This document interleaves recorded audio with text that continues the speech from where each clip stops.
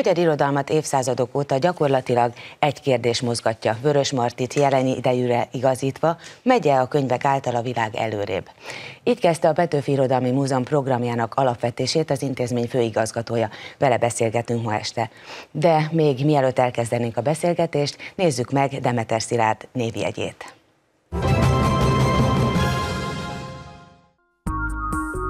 Demeter Szilárd, író, filozófus, politikai elemző, publicista, 2018. decemberétől a Petőfi Irodalmi Múzeum főigazgatója. 1976-ban Székelyudvarhelyen született, és gyermekkorát a Madarasi Hargita lábánál töltötte. 1995-ben elvégezte a Benedek Elek tanítóképzőt, emellett együtt dolgozott Orbán János Dénes költővel, az erdélyi előretolt helyőrség nevű íróközösségben. 1999-ben Kolozsváron a Babes Bójai Tudományegyetemen filozófusi diplomát szerzett. A korunk kulturális folyóirat filozófiai szerkesztőjeként kezdett dolgozni. Oktatóként létrehozta a Párciumi Keresztény Egyetem egyetemi kiadóját, és felelős szerkesztője volt az Egyetemi Tudományos Folyóiratnak. A Kellék című szakfilozófiai folyóirat szerkesztőjeként a lap szerkesztőbizottsági tagja. 2008-tól hat éven át Tőkis László püspök európai parlamenti képviselő mellett dolgozott Brüsszelben, előbb mint sajtófőnök, később mint irodavezető. 2014-ben a Budapesti Századvég Alapítvány kutató elemzője lett. Részt vett 2015-ben a Budapesti Előretolt Helyőrség Íróakadémia alapításában. A magyarországi regionális napilapok irodalmi kulturális mellékleteként megjelenő Előretolt Helyőrség alapító főszerkesztője, később lapigazgatója. 2018. decemberében Kásler Miklós az Emberi Erőforrások minisztere megbízta a Petőfi Irodalmi Múzeum ideiglenes főigazgatói tisztségének ellátásával, majd 2019. február 1-től véglegesen is kinevezték a főigazgatói posztra. Emellett 2019. augusztusában miniszteri biztosnak is kinevezték. Ebben a minőségében a magyar könyvszakma és irodalmi közgyűjtemények integrált fejlesztéséért felelős.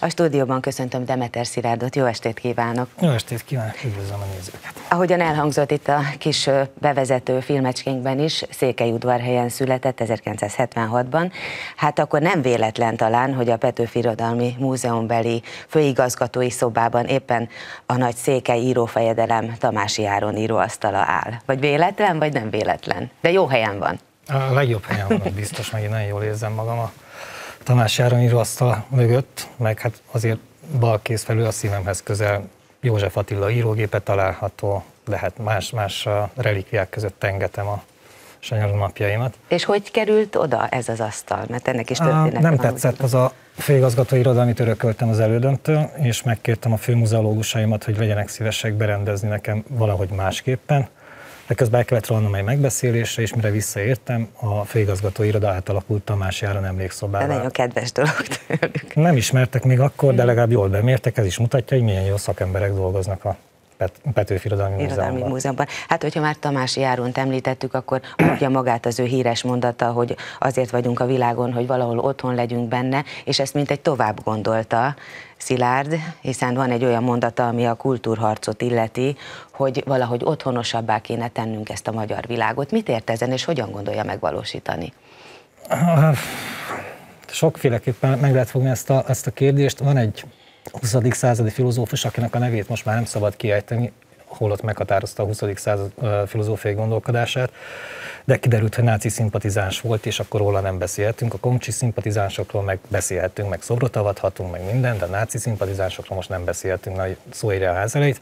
Ő mondta azt, ez a náci szimpatizáns meghatározó filozófus, hogy a nyelv a létháza, és ha ez így van, és mi a nyelvünkben élünk, ahogy ugye nyelvében él a nemzet, tehát a magyar nyelv, nemzet, hogyha nyelvében él, akkor ezt a házat kell nekünk otthonosabbá tennünk, de ez kevés, hogy otthonosabbá tenni. Ezen a nyelven keresztül vesszük birtokba a világot, tehát tesszük a magunk otthonává, és ennek eszköze az irodalom. Mind a klasszikusnak számító, tehát lezárt életművekből álló irodalom, mint pedig a, a kortárs magyar irodalom. Igen, igen. Nekem az a feladatom, hogy egyrészt Irodalmi Múzeum főigazgatójaként a lezárt életművek tekintetében is élővé tegyem az emlékezetet, illetve hát a kortárs irodalom infrastruktúráját próbáljuk most összerakni.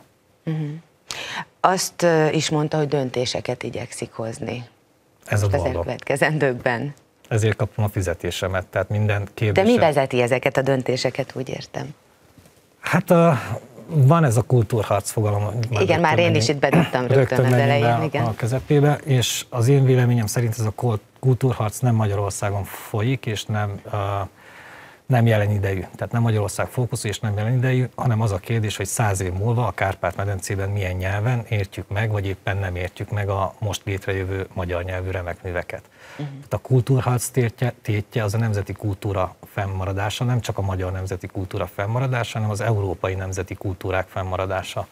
Épp a, a, errefele jövet az autóban olvastam egy, egy Figaro cikk összefoglalót, amiben pont erről beszél egy kanadai filozófus, hogy a, az európai nemzeti kultúrák felszámolása zajlik, tehát ez, ez most már máshol is észrevették, nem csak az én kis monomániám vagy nénkén. Egyszer azt mondta nekem, de gondolom másod is említette már, hogy 110 százalékos székely. Lehet azt mondani talán, hogy aki ö, nem Magyarországon született, vagy mondjuk Erdélyből jön, vagy ö, az elszakított területekről, ott erősebb a nemzeti tudata, vagy ö, egy erősebb identitás generálódik? Inkább más az élettapasztalatunk, tehát a mi élettapasztalatunk az az, hogy a- az anyanyelvi kultúra az megtart, még a legvadabb, legvadabb di- diktatúrában is képes megtartani minket önazonosnak, másrészt pedig, hogy milyen könnyű elveszíteni. Tehát az elveszítést mi testközelből megéltük, gondoljunk csak az elszólványosodás vagy az asszimiláció kérdéskörére, tehát hogy mi ezt nap mint nap saját bőrünkön érezzük, hogy milyen az, amikor egy kultúra, amely nem a mi anyanyelvi kultúránk, ellenségesen viszonyul hozzánk, és többségivé válik hirtelen, és bedarálja a, a mi tereinket, a mi szimbolikus, a, hogy mondjam, igazodási pontjainkat, hirtelen meg, megváltozik az a, az a szokásjog, az a szokásjog, az a szokás együttes, amivel mi addig úgy gondoltuk, hogy elég jól vagyunk, legalábbis Erdélyben, és kénytelenek vagyunk igazodni egy teljesen más uh, szemléletű vagy kultúrájú többségi kultúrához. És ráadásul még az a szerencsénk, most idézőjelben mondom, hogy szerencsénk, tehát az elszakított területeken élő uh, magyar, őshonos magyar közösségeknek az a szerencsénk, hogy keresztény kultúrkörben élünk még mi mindig. Amit Nyugat-Európa kezd megtapasztalni, az egy hasonló folyamat, csak ott nem keresztény kultúrkörből jövő, a most még kisebbség, nem sokára többség kezdi átvenni a, a, az uralmat, és kezdi diktálni a különböző szokásokat, és ez nem lesz jó. Igen, hát erre vonatkozóan látunk is nyilván már konkrétumokat is, tehát ez nem csak a jövő előrevetítése, hanem már láthatóak dolgok, de vajon miért van az, hogy éppen a kereszténységet nem kell megvédeni? Más vallásokat védelmez a világ, én úgy veszem észre legalábbis. Uh, én most szeretnék Kertész Imrét idézni, ha, ha, ha, nem, Szabad? ha nem probléma. Tehát, Nem, nem az. Amikor ugye szó volt arra, hogy Kertész Imre bekerül a nadba, vagy nem kerül be a nadba, akkor én, én minden médiumnak elmondtam, ami, aki engem megkérdezett, hogy én kötelezővé tenném Kertész Imrek az egész életművét, és kifejezetten a nyilatkozatait, tehát a interjúit, mert ő ebben nagyon élesen tud fogalmazni.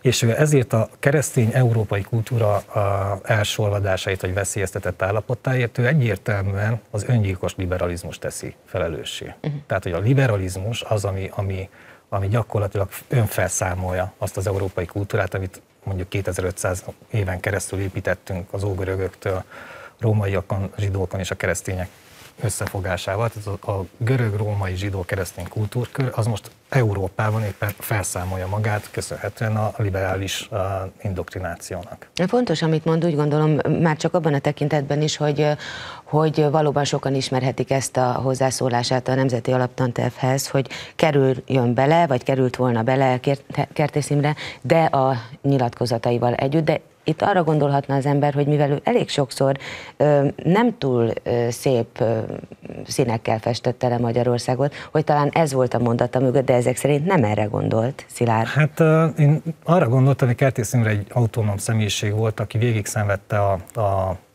két diktatúrát is végigszenvedett, nácit és a kommunista diktatúrát, Igen. pontosan tudta, hogy mennyire veszélyesek ezek a diktatúrák. Mind a kettő európai találmány, mondja egyébként Kertész, és ebben igaza van.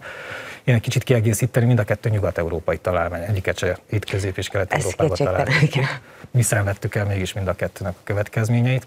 Viszont Kertész egész életművében ennek a bizonyos európai és ezen belül a magyar kultúrának volt az elkötelezett védelmezője. Okos ember, autonóm ember, éles megállapításokat tesz, de ezek jó, mert ezek produktív konfliktusokat eredményeznek, tehát elgondolkodtatják az embert, valamilyen módon viszonyulnia kell hozzá, és az, hogy ha, ha valaki akár Nobel-díjasként is megint csak őt tudom idézni, hogy saját életét tudja élni, és ez a fontos számára, hogy saját életét tudja élni, az messze menően példakép. Tehát nekünk, magyaroknak most arra van szükségünk, hogy a saját életünket éljük, legyen meg az a bátorságunk, ami Kertész Imrében meg volt a bátorságként, hogy a saját életünket éljük nemzetként is, vagy nemzeti kultúraként.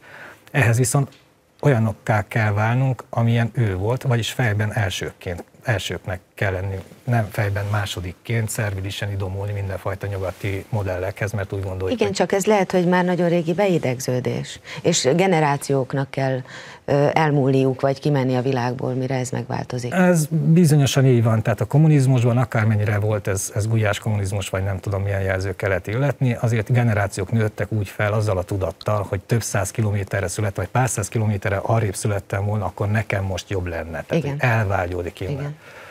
A, ezen változtatni mindenféleképpen érdemes és kell. Én úgy gondolom, hogy jó irányba haladunk, majd Magyarországon. Én székelyként azért nem értem ezt a kérdést, mert nálunk a szülőföld szeretet az egy zsigeri történet. Tehát Székelyföld a világ közepe pont. Persze Zala is az alaiak számára, azt Igen. is megértem, de hogy hogy ez nem kérdés, hogy szereted a szülőföldedet, és hogyha elmész, akkor is úgy mész el, hogy visszamész majd oda. Tehát én biztos vagyok benne, hogy ott fogok megöregedni, meg ott fognak eltemetni.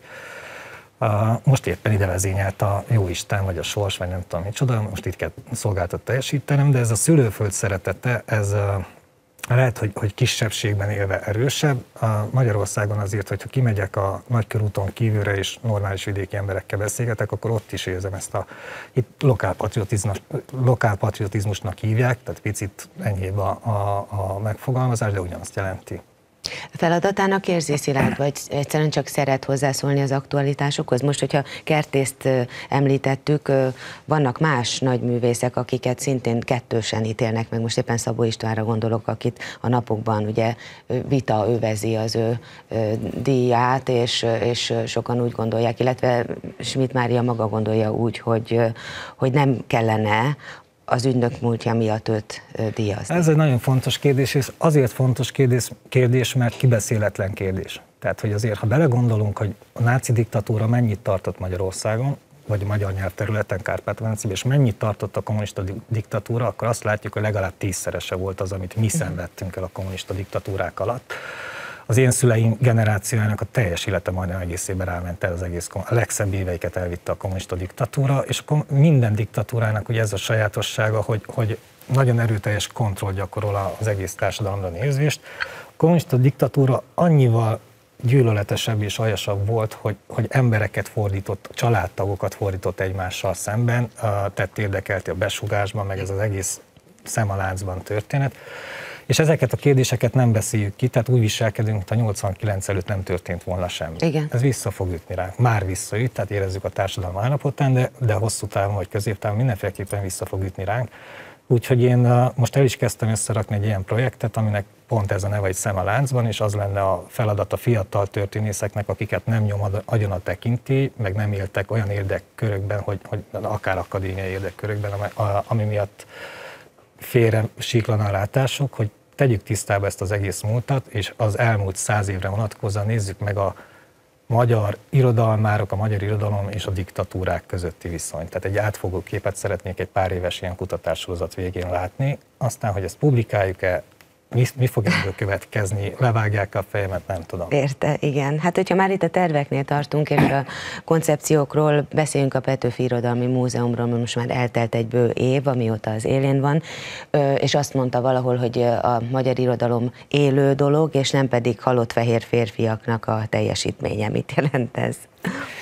Igen, hát ez, a, ez a Amerikából indult ez az őrület, ez a fehér faj vélt vagy valós felsőbbrendűség tudata ellen indult a, a főként színesbőrű aktivisták vagy szektariánus idióták részéről, akiknek az a legnagyobb problémájuk, hogy a nyugati kultúra többségében fehérek és többségében férfiak által írt, művelt vagy létrehozott kulturális alkotásokból áll. Most Istenem, mi tényleg ebben élünk, tehát hogy nehez, nehezen tudnánk a, a 9.-10. századból jelentős afrikai filozófusokat felhozni. Lehet, hogy voltak, csak mi nem ismerjük őket. Tehát Igen. mi a sajátjainkat ismerjük, és ők uh, tiltakoznak ezzel ellen a nyugati fehér dominancia ellen, és ők mondják azt, hogy a nyugati kultúra az halott fehér, hát férfiak vagy emberek más megfogalmazásban terméke. És ha mi ezt elfogadjuk, akkor valóban azzá válik. De nem fogadja el, és hogy nem, gondoskodik ezért, arról, hogy ezért, ne így legyen. Ezért vagyok egy kicsit ilyen élesebb vagy harcosabb típus, mert én úgy gondolom, hogy a mi kultúránk, ezzel nem kicsinyelek le semmilyen más kultúrát, csak egyszerűen annyit mondok, hogy mi nem lehetünk értéksemlegesek, hiszen a mi kultúránk az a legfontosabb. Más kultúrák is fontosabbak, de a legfontosabb a mi számunkra az a mi kultúránk, tehát a magyar nemzeti és keresztény kultúra lehet csak első és nem tudom, utána jön az összes többi. Ez nem azt mondom, hogy jobbak vagyunk, Igen. mint ők, nem azt mondom, hogy magasabb rendűek vagyunk, mint bármelyik másik kultúrában élő népcsoport vagy nemzet, egyszerűen azt mondom, ez a miénk. És ezt nekünk meg kell védenünk. Ezt kaptuk örökségként, ezt tartott meg ezer éven keresztül a Kárpát-medencében, és ezt nekünk kutya kötelességünk továbbadni a következő nemzedékeknek. Na de konkrétan hogyan gondolja? Mármint a Petőfi Irodalmi Múzeummal kapcsolatban ugye újrahangolást ígért. A Petőfi Irodalmi Múzeumnak a, a tevékenység az több rétűvé vált. Egyrészt rendbe raktuk végre a, a, a szakmai részét, nem olyan szempontból, hogy meg, megalkottuk Magyarország első muzeológiai életpályamodelljét. Ehhez igazított bértámlával, tehát a Petőfi Irodalmi Múzeumban mindenki tudja, hogy hogyan tud karrierállomásokon feljebb jutni, vagy előrébb jutni, és ehhez milyen bérsában uh, tud ő mozogni. Most nem azt mondom, hogy túlfizetjük a muzeológusokat, de tisztességes bért keresnek nyilvánvalóan uh, valamilyen jobb kedvel is dolgoznak.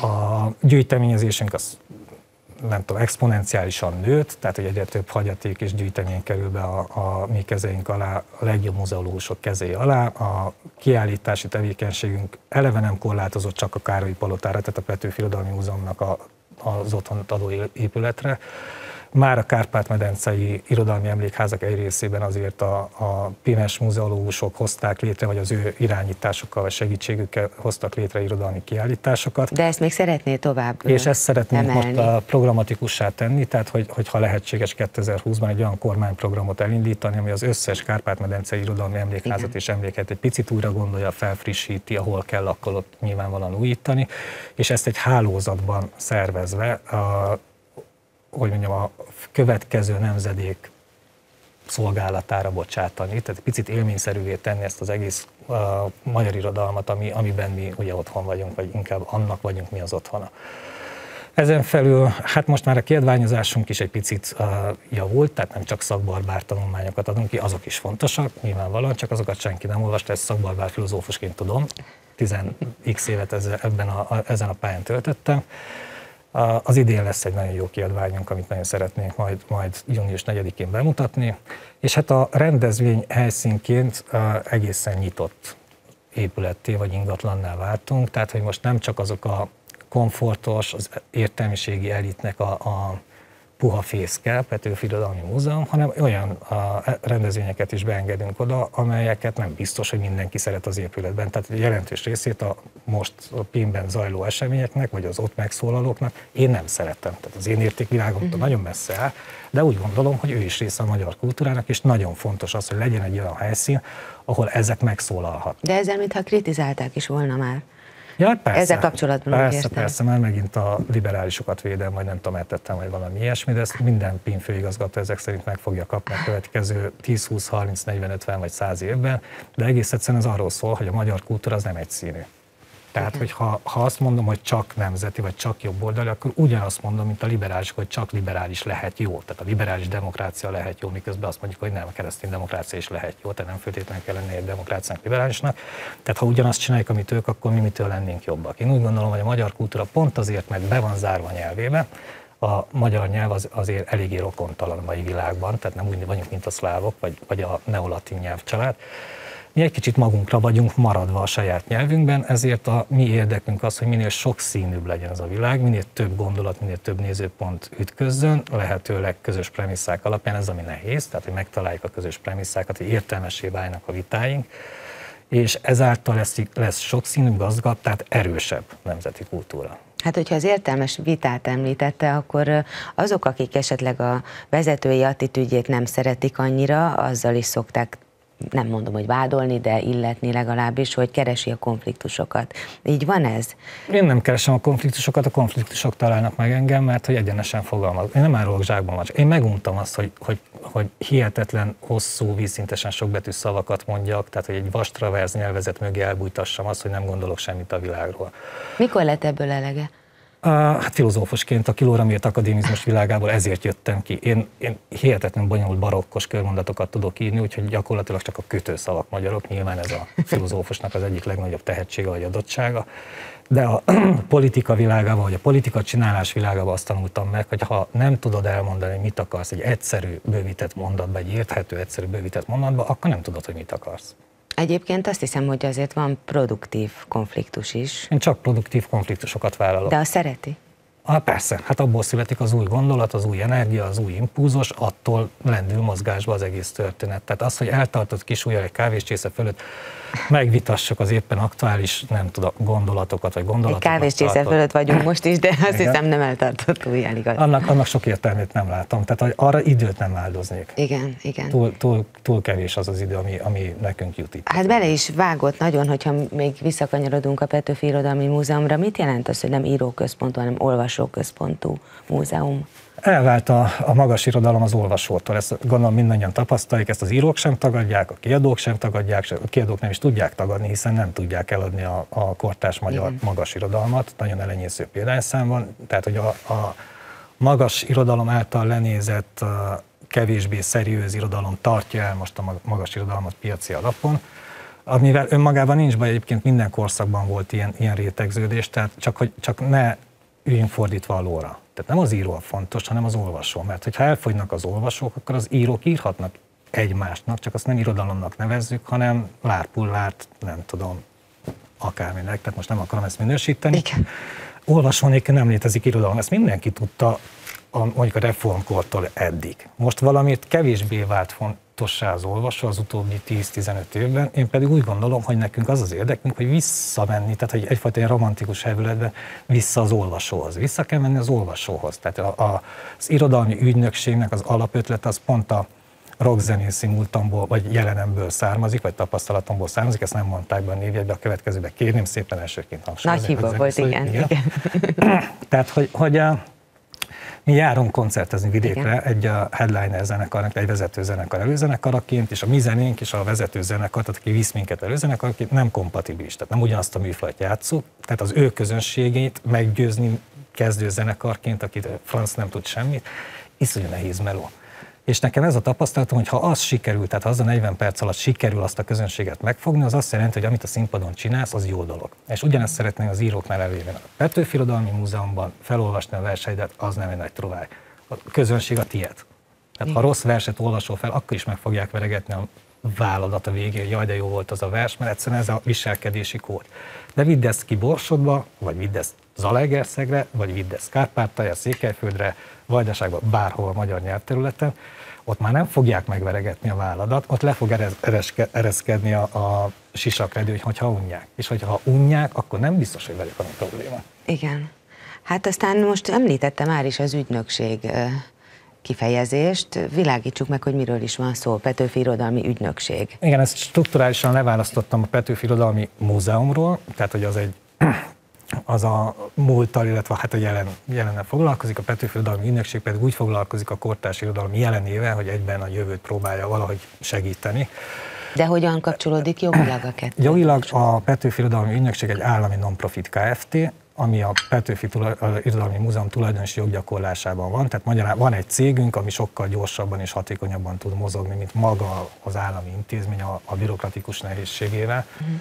Ennek az ügynökségnek van jó pár igazgatósága, tehát van egy külön ifjúság és gyermekirodalmi centrum, mert az egyik legfontosabb számunkra a gyermekirodalom, a kortás magyar gyermekirodalom a helyzetbe hozása, a sok dömping szeméttel ellentétben úgy gondoljuk mi, hogy a a kortás magyar irodalom világbajnok, de az is volt. De ki, ez, én ezt akartam mondani, hogy az is volt, tehát hova, tehát, van mi egy nagyon jó, mi van történt? egy nagyon jó hagyományunk, ebben a hagyományban élnek és alkotnak egyébként nagyon jó gyermekírók, és nagyon jó illusztrátoraink is vannak, igen, tehát ez a kettő igen, igen. együtt mozog. Őket szeretnénk egy picit helyzetbe hozni. Van egy úgynevezett Kárpát-medencei igazgatóság, aminek kifejezetten az a dolga, hogy olvasók megrendelésre Csajága Röcsögei Petőfi olvasókölt megrendeli XY Gipsy Jakab írót vagy költőt, tök mindegy, mi kiszállítjuk neki, tehát kifizetjük az írónak az úti költségét, kifizetjük a felléti díját, tehát hogy neki semmiben nem kerül, pogácsát vagy vizet kell vegyen. Cserében mi csak egy irodalmi naplót kérünk az eseményre az adott szerzőtől, és akkor majd összeraknánk a Kárpát-medence irodalmi térképét pár éven belül illetve hát különböző irodalmi karavánok, rendhagyó irodalomórák, stb. szervezésében szeretnénk aktívabban részt venni, hogy a, ha már NAT, akkor a magyar irodalom tanítását egy picit élményszerűbbé tudjuk tenni. Van egy úgynevezett export-import, litek, hogy van? Lit, Litimpex, így nevezték el az igazgatók, tehát hogy ez a fordítás támogatás, Igen. magyar irodalom külföldre juttatása, illetve kortás világirodalom magyarra fordítása projekteket gazdálják ők, tehát hogy ez, ez a külföldi könyvvásárokon való részvételtől egészen a volt nagyvilág szellemiségét meg, megidéző módon egy kortás világirodalmi online folyirat létrehozásáig terjed náluk a, a tevékenységi skála. Illetve van egy kiadványozási osztályunk is, vagy igazgatóságunk, aki a, egy elég nagy széles portfóliót kezdett összerakni, mint infrastruktúrát, tehát hogy itt egy gyűjtőportát kezdünk majd a, a építgetni szép lassan. Olyan fogalmakat használ, amik a, az írók körébe, vagy az irodalmárok körébe szinte ismeretlen volt eddig, más, az élet más területeiről ismerősek ezek a kifejezések. Mert ez menedzsment kérdés, tehát nekem nem az a dolgom, hogy meghatározzam, hogy milyen tartalmú művek szülessenek, ezt íróként én is kikérném magamnak gyűlölni, és nem is tudnék rendelésre írni szép irodalmat. A politikai beszédet igen, bár, bárkinek bármiről, és jót, jó beszédeket tudok írni. De ez, ez egy menedzsment kérdés, tehát nekem most az a dolgom, hogy picit infrastruktúrát építsem, és menedzserek olyan folyamatokat, amelyek minél több olvasót tartanak meg, vagy hoznak be a magyar olvasás kultúrába. Nyilván valami ilyesmit szolgál, vagy illetve annak is több oldala van, hogy megalkották a, megalkotta a térei ösztöndíjat. Ugye a térei ösztöndíjat 35 és 65 év közötti, tehát a középgeneráció, miként János is valahol ott középen volt, nem régen hagyott itt minket. Ez egy strukturális hiány volt, tehát ez nem egy nagy, nagy felismerés, tehát a pályakezdő írókat segítjük a Moritz ösztöndíjon, Örkény és Babics ösztöndíjakon keresztül, illetve a KMTG-nek az előtt volt helyőrségíró akadémiáján is van egy évente 10-20 pályakezdőnek lehetősége fejlődni. Az idősebb generációknak, tehát az élő klasszikusoknak nevezzük így, ott van a Magyar Művészeti Akadémia, illetve a Digitális Irodalmi Akadémia, Igen. ami szintén a PIM-nél van, de pont a középgenerációnak, akiknek most kellene megírniuk azokat a nagyműveket, amit, ami által ők élő klasszikussá válhatnak, azoknak nem segítünk egy ilyen célzott állami ösztöndíjrendszerrel. Na jó, de most hát, segít, és mégis öten visszaléptek, hogy ők nem kérik szépen. De 40 nem, nem léptek vissza. De hát akik ez az ö, visszaléptek, vajon miért? És hát ugye rengeteg vita, meg vélemény alakult itt a történet körül. Nem az ösztöndíja van probléma a vitában, tehát hogy a vita mögött egy, egy hatalompolitikai harc folyik, mindig ez történik, hogyha valakinek a véleményalkotási monopóliumát valaki megpróbál megtörni, én ezt próbálom most éppen megtenni. Tehát, hogy az úgynevezett balliberális, vagy tök mindegy, minek minősítjük Kánon, aki eddig az elmúlt évtizedekben megmondhatta, hogy mi a teljesítmény, mi a jó irodalom, mi a nem jó irodalom, ki a jó író, ki a nem, nem jó író. Én ezeket a jog, ezt a jogát nem vitatom, csak kiszélesítem a terepet, behozok más szempontokat, és azt mondom, hogy akkor nézzük meg, hogy mások számára mi a teljesítmény, mások számára mi a jó irodalom. Kezdjük el ezeket ütköztetni, mert ebből alakul ki az a bizonyos sokszínűség, ami erősé teszi a magyar kultúrát. A térei ösztöndíj, Szerintem az elmúlt 30 évben, nem csak szerintem, minden őszinte ember szerint az elmúlt 30 év legdemokratikusabb döntéshozatali folyamata volt az írószakmán belül. Minden érintett írószervezet küldhetett, delegálhatott egy kurátort a 19 tagú szakmai kuratóriumba, akik döntöttek az ösztöndíjasokról, és ebben a kuratóriumban én nem voltam benne. Uh-huh. Tehát én nem döntöttem. Az egész folyamatnak jól mutatja a végét, hogy az eredetileg én is jelölhettem, mint kezdeményező 30 alkotót, hogy kinek szeretném esetleg adni a térei ösztöndíjat, és az én 30-as listámnak több mint fele nem szerepel a végén kialakult 45-ös mezőnyben. Hát mondjuk az írószövetség mellett is van egy másik írószövetség. Tehát... Mindenből van nekünk kettő, Igen. legalább, de most már szerintem lesz három vagy négy, ez zöldben, pepitában, lilában, kékben, barna, mindenféle színben van, ez egy magyar betegség, ettől még meg kell találnunk azokat a közös premisszákat, ami alapján nem azt mondom, hogy szeressük egymást, de értelmesen tudunk beszélgetni. Meg hát nem csak a beszélgetésről van szó, hanem azt is mondta ugye, hogy van ugyan elég pénz a kultúrára, csak nem jól van elosztva. Tehát nem akkor, hatékonyan hogyha... költjük el, bocsánat, nem azt mondtam, hogy nem jól van elosztva, az, az forrásvita, és forrásvitában nem, nem szeretnék belemenni. Párhuzamos rendszereket Igen. tartunk fel. Ez, ez egy óriási bűn. Tehát, hogy ugyanolyan típusú tevékenységre szórjuk el a pénzt, miközben, hogyha összehangolnák, semmi más nem kellett csinálni, csak összehangolni ezeket a folyamatokat, azok egymást erősítő folyamatok lehetnének, és minőségi többletet hozhatnának létre. Tehát mondok egy elég távoli példát, hogy nehogy megsértsek bármilyen kortás művészeti ágat, az a digitalizáció kérdésköre. Igen. És jelen pillanatban a úgynevezett közgyűjteni digitalizálási stratégiával megpróbáljuk ez, ezeket a folyamatokat összehangolni, de eddig úgy volt, hogy minden úgynevezett agregátor intézmény, meg minden digitalizálási projektben résztvevő közgyűjtő maga magának digitalizált. Most ott tartunk, hogy lehetséges, hogy egy könyvről született, nem tudom, 15 különböző könyvtár szakmai leírás. Most Igen. ezeket össze kell fésülni, tehát az megint plusz meló, uh-huh. ahelyett, hogy egy valaki csinálta volna meg, és a 15 könyvtár használta volna. Tehát, hogy vannak olyan típusú párhuzamos folyamatok, amelyek teljesen értelmetlenek, ráadásul vannak olyan infrastruktúrák, amelyek szintén párhuzamosan működnek, miközben egy struktúrának voltak kitalálva. Tehát én, nagyon egyszerű a történet, a könyvtárellátó, az országos Széchenyi könyvtár, az egy struktúra vagy egy struktúrának a különböző része, és ide csatolódik be a Petőfi Irodalmi Múzeum is. Tehát én ezeket a strukturális elemeket próbálom megint összetolni, már ami az én kompetencia szintembe tartozik, és oda hatni, hogy a nagy kulturális stratégiákat is legalább ha, ha, próbáljuk meg össze, ha nem is hangoljuk össze, de próbáljuk meg. Tehát nézzük meg, hogy mit akar mondjuk Vinyánszki Attila a színészet terén, és azt mondja, hogy ő ilyen típusú programot szeretne elindítani. Nézzük össze, hogy a Vinyánszki féle pódiumműsoros program és a Petőfi Irodalmi Ügynökség által utaztatott írókaravának nem találkozhatnának-e esetleg? Ne az legyen, hogy megérkeznek egy kis településre, és egyszerre konkurálnak egymással. Mert lehet, hogyha az a színészeket és az irodalmárokat összehangoltan tudjuk mozgatni, akkor abból születik valami izgalmas és új történet. Most már tulajdonképpen a miniszteri biztosságáról beszélgetünk, illetve abból a szemszögből is Hát most nagyon sok, sok, sok sapka kezd rajtam lenni, de hát ez valahogy összeér az én személyemben, úgyhogy én tudok ugrálni a nézőpontok között, hogyha nézők nem tudják követni, akkor elnézést kérek persze. Na most ugye már a Széchenyi könyvtárat az előbb említetted csak éppen, hogy de beszéljünk erről, hogy azt hiszem, hogy meg kellene világítani, hogy pontosan mit is kell tennie. Azt tudom, és el is tudom mondani pontosan, hogy a magyar könyvszakma és irodalmi közgyűjtemények integrált fejlesztéséért felelős, ugye, mint miniszteri biztos. Ezt a verset soha nem tudtam megtanulni, én nem tudnám megmondani, mi a én se, lát, én se látja, én is felolvastam. Na, de minden esetre hogyan jön ebbe a Széchenyi könyvtár, és akkor mik a konkrétumok, mert mindenfélét lehet hallani e körül. Jó, akkor elmondom a történetet az elejétől, mert, mert ez talán kicsit eloszlatja a majd 2019. augusztus elején, amikor én éppen készültem a jól megérdemelt két hetes szabadságomra, felhívott Kásler Miklós miniszter úr, hogy itt van az Országos Széchenyi Könyvtár problémája, és ő úgy gondolta, hogy ha már a Petőfi Irodalmi Múzeumban ilyen rövid időn belül ennyi eredményt el tudtam érni, akkor talán át kéne vállaljon az OSK kérdését is, mert nincs gazdája. Senki nem merte bevállalni azt az OSK-t, mint, mint megmentendő intézményt. Én meg hát fegyelmezett katona vagyok, ha ez a parancs, mondtam, hogy oké, nem ugrok el feladatok alól, elő, szeretném megismerni az OSK jelenlegi helyzet, és elkezdtem olvasni, meg elkezdtem utána menni mélyre, mélyre történetre, amikor nekem kezdett egy nagyon szörnyű gyanúm kialakulni, ezért felkértem egy könyvtár szakmai szakembert és egy könyvtár informatikust, hogy azért szakértőként vizsgálják, világítsák át az egész országos Széchenyi könyvtárat, és ennek a végeredménye december közepén az lett, hogy a az országos Széchenyi könyvtárnak a legkisebb problémája az, hogy el kell költözni a várba, mert egyébként az az épület, amiben most van, az a 80-as évek második felétől a mindenkori vezetés meggyőződése szerint alkalmatlan a Nemzeti Könyvtár céljaira, tehát a mindenkori vezetés jelezte a mindenkori kormányzatnak, hogy ők nem érzik ott jól magukat, nem jó az az épület Nemzeti Könyvtárnak.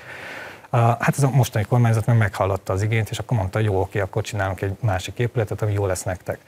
De ez a legkisebb problémája a könyvtárnak, az országos Széchenyi könyvtár iszonyatos mértékben félremenedzselték, most vagy rossz indulatból, vagy hozzá nem értésből, vagy egészen túl nagy lett a kabát hirtelen, nem tudom, tehát elég sok pénz érkezett oda a digitalizálás címszó alatt, mindegy, gazdaságilag is nagyon, nagyon rossz állapotban van, könyvtár szakmailag nagyon rossz állapotban van, ami megbocsáthatatlan számomra, vagy legalábbis részemről. A könyvtár informatikailag is eléggé, hogy is mondjam, szedetvedett. Ott nagy rendet kell csinálni azért, hogy, hogy a 21. századi nemzeti könyvtár szerepét betölthesse. Ezért kértem azt, hogy írjunk egy végleges főigazgatói pályázatot, és a végleges főigazgató bárki legyen az, erről egy bizottság fog dönteni, tehát én nem tudom most, a bizottságban egy szavazati jogom van, bárki is legyen ez a végleges végigazgató, ez nagyon erős döntési kompetenciákkal, öt éves mandátummal rendelkező főigazgató legyen, mert oda belül rendet kell csinálni. Na de hát nagyon sok jelentős ingatlan van állami kézben, ugye, amik hányódnak, vagy csak hevernek, tehát most ezek is gondolom egy kézbe kerülnek? Vagy... Hát vannak, van, ilyen, van ilyen szándék, hogy funkciókkal megtölteni ezeket a romló állagú ingatlanokat, mert azért, azért, hogy is mondjam, csak úgy, mert valaki ott lakik, vagy ott éppen valamit csinál. Meg nem. ezek fontos régi épületek, javarészt. Van egy, van egy ilyen, ilyen szimbolikus térfoglalás, vagy visszafoglalás, vagy a magyar kultúra számára való visszaadási szándék a kormányzatban, ami egy szerintem nagyon helyes és, és támogatandó célkitűzés, tehát hogyha valaminek volt egy ilyen típusú funkciója, akkor ne saormát áruljanak benne. De olyan ötlet is volt ugye, hogy a Mária Terézia laktanyába költözön az OSK. Igen, én ezt nem támogattam, de én, én, hogyan, én csak döntés előkészítő kompetencia, én nem tudok dönteni ezekben a kérdésekben. Megvizsgálom és elmondom a legjobb tudásom és szakértelmem szerint, meg mindenfajta információ Igen. begyűjtés alapján, hogy hol gondolom én ezt jónak, vagy hogyan gondolom ezt jónak. Ezt a Kásler Miklós miniszter úr és államtitkárai megvitatják, hogyha úgy gondolják, hogy ez egy vállalható irány akkor elmegy kormányra, ahol az egész kormány hozzászól, és majd legfeljebb azt mondják, hogy akkor gondolkodjál még egy kört, tehát visszadobják a labdát. Hogy De már azon gondolkodott, hogy legyen a magyar nyelvháza, amelyben ugye számos intézmény tudna egyesülni. Lehet, hogy sokan már is kritizálják azzal, hogy központosítási mm, divat van, vagy, vagy hogy kell -e ez tényleg, vagy túlságosan, vagy túlzó és megalomán ötletnek tűnhet? Most mi a megalomán? Építek egy sportcsarnokot, az megalomán? Vagy a stadion, az megalomán? Én nem tudom, én csak ilyen hangokat hallok. A Nemzeti Színház az megalomán, vagy a műpa az megalomán. Tehát, hogy, hogy az, hogy építünk egy kulturális intézményt, amiben minden az anyanyelvi kultúrához kötődő intézmény valamilyen módon részt vehet, akár helyet kaphat, tehát rengeteg olyan ingatlan van, amiben most különböző múzeumok, közgyűjtemények vagy kulturális intézmények működnek, és nem jó nekik az a hely. Ilyen például én mert bemerem vállalni, az Országos Színház Történelmi Múzeum és Intézetnek a Krisztina Körúti palotája, az is Igen. egy palota, teljesen alkalmatlan múzeumi célokra, tehát az nekünk nem jó, hogy ott vagyunk, mégis ott vagyunk, mert az a miénk, tehát hogy ott szerencsétlenek, ott, mert a szerencsétlen kollégáim ott nyomorognak. Ők is a oda Károly, kerülnének be. Igen, igen. a Károly Palota igen. se jó pontosan irodalmi, muzeológiai célokra, mert nem ennek volt építve, hát ilyen egyszerű a történet, tehát ez egy, mégiscsak egy, egy palota. Ettől még, még nagyon szépen belaktuk, és az biztos, hogy rosszabb helyre nem vinném a Pimet, mint a mostani helye, de a Magyar Nyelvháza, mint ötlet, az arról szól, hogy az anyanyelvi kultúrához kötődő összes intézmény, kiadók, írószakmai szervezetek, könyvtárak, irodalmi muzeológusok, kiállítások, ennek az audiovizuális része, a színház történet, a színházi muzeológia, akár fotótár is elképzelhető, tehát minden, ami a magyar kultúrának valamilyen módon az anyanyelvi közegé, egyébként mindennek köze van, de aminek szorosabban kötődik ehhez, annak legyen egy olyan ingatlan együttes, ahol ezek egymásra hatnak, egymást erősítve tudjuk megmutatni. Uh-huh. Egy nagy ingatlan, az én fejemben egy labirintus van, tehát egyfajta labirintust idéző ingatlan együttes, de ez, ez csak az ilyen kis uh, töredék álma, ahova jó bemenni, és bemész, és anyanyelvű kultúrát kapsz, de ez itt közösségi terek, lehet menni csajozni végre megint egy jó normális helyre, vagy lasizni, uh, előadó terek, tehát ahol meg lehet tartani azokat a zenés, táncos, irodalmi esteket, vagy bármilyen társművészeti esteket, amelyek társművészetek együttműködéséből adódnak ahol visszaalakítható az, ami az OSK-nak régen volt. Én akadémiai kutatóösztöndíjjal igen. dolgoztam az OSK-ban, mint hogy kutattam az OSK-ban, és ott kis közösségek alakultak ki. Tehát én a filozófusokkal az OSK-ban találkoztam. Ez ma már nem így történik, az OSK-ban most havonta 300 olvasó megy be kicsit drága mulatság fenntartani 300 olvasóit egy Mi annak idején ott ültünk egész egyetem alatt. Én úgy Ezt emlékszem. kell valahogy visszahozni, és Igen. egyébként, hogyha megnézzük, akkor a mai korszerű nemzeti könyvtárak mind közösségi terek, mind a találkozás terei, tehát mind arról szól, hogy valahol találkozik a, a hát hogy is mondjam, az elit valamelyest elit, mert én, én inkább az egyetemistákat céloztam be ezzel a magyar nyelvháza koncepcióval, Igen. tehát hogy őket kell valahogy visszahozni ebbe, a, ebbe az írott kultúra kontextusába vagy összefüggés rendszerébe. És a könnyű zene is helyet kap, ugye a Csetamás archívum? A Csetamás archívum, igen, az, az egy faramúci probléma, mert az is egy olyan uh, gyűjteményi egység, ami számomra személy szerint nagyon fontos, de én nem akartam nyilván lenyúlni, vagy ilyesmi. A Cseh Tamás özvegye szeretné, hogyha a Petőfi Irodalmi Múzeum égisze alá kerülni és segítenénk a szakmailag, és én nagyon fontosnak tartom, hogy a Cseh Tamás által képviselt uh, dalkultúra, vagy verskultúra, vagy dalmondó, vagy verséneklő, vagy nem tudom milyen kultúra, az megint létjogosultságot kapjon, mert az egy olyan típusú társművészeti produkció, amit mindenki tud szeretni. Tehát lehet, hogy nem Cseh Tamás rajongó az ember, de egyszer biztos, hogy meg tudja hallgatni, és tudja, szerethetővé tudja tenni az irodalmat is, és a zenét is, tehát dupla haszon. Egyébként most készítünk el egy nagy kiállítást, erről még nem beszéltem sehol, jut eszembe. Na hát, köszönjük, uh, hogy mi lehetünk az elsők. Ősszel, szeptemberben nyílik terveink szerint. Ez a magyar indiánok kiállítás, nem csak Cseh Tamás, de ugye tudjuk, hogy ő, ő azt hiszem Balkonyi indián volt. Ez egy, ez egy elég régi hagyomány, tehát hogy a 19. század, 20. század fordulóján már voltak magyar indiánok, tehát az indián romantikát élő uh, rendes magyar emberek, és ezek kapcsán kezdtünk összerakni egy kiállítást, nagyon izgalmas, nagyon izgalmas történeteket találtunk egyébként az egészből, és ennek apropóján felkértünk uh, számos kortárs szerzőt, hogy, hogy így a 2020-ban magyar indiánként írjanak valami irodalmi reakciót erre a kérdéskörre, ez valami izgalmas lesz. Én hallottam, hogy a múltkoriban azt mondta Szent Mártoni Jánosnak, ki a Magyar Írószövetség elnöke volt sokáig, most már nem ezt csinálja, hanem a Petőfi Irodalmi Ügynökségben dolgozik, és azt mondta neki, hogy hát János, te sem fogsz most egy jó darabig verset írni. Hát Szilárd, meddig nem ír verset? Ír-e verset? Hát már hat kötet megjelent. Szerencsére. Bármi más. Tolzát, hát most ugye úgy néz ki a napom, hogy nagyjából héttől délután 5-ig, 6-ig bent vagyok a Petőfi Irodalmi Múzeumban, és akkor este család, gyerek, és este éjszaka még kicsi munka. Viszont van ez a kegyelmi időpont, időszak reggel 5-től 7-ig, amíg felébred a, a fiam, ő általában ő hét körül, mint, a, mint az ébresztő jön, és akkor, akkor már vele kell foglalkozni, és ez alatt próbálom írni a Székely Cyberpunk regényemet. Most már egy fejezetet sikerült újraírnom, és nagyon élvezem. Hát ilyen apránként, de ez ilyen inkább kikapcsolat. Én mindig szórakozásból, uh hobbiból írtam, tehát nincs ilyen íráskényszerem, hogy akkor most, ha nem írom meg a zseniális műveimet, akkor jaj, mi lesz? Hát akkor legfeljebb nem írtam meg. És a B kategóriás baszgitáros, mint életcél, vagy nem tudom, vagy csak egy cél az életben? Hogy az, a, az a mentális egészségemnek az egyik nagyon fontos záloga, hogy zenélhessek, nagyon jó a zenekarom. Decemberben elmentünk stúdióba, felvettünk hét dalt, azt most keverik, meg masterelik, tehát most valamikor tavasszal ki fog jönni. Tegnap este volt, tegnap késő este volt egy zenekari megbeszélés, ahol ilyen igazlátó napon elmondtuk az összes sérelmünket, lefektettük újra azokat a szabályokat, ami alapján működik a zenekar. Úgyhogy megyünk előre, és egyre több koncert kezd beesni. Szerencsére nem nekem köszönhetően, vagy nem annak köszönhetően, hogy én picit az ismertségindexem megnőtt.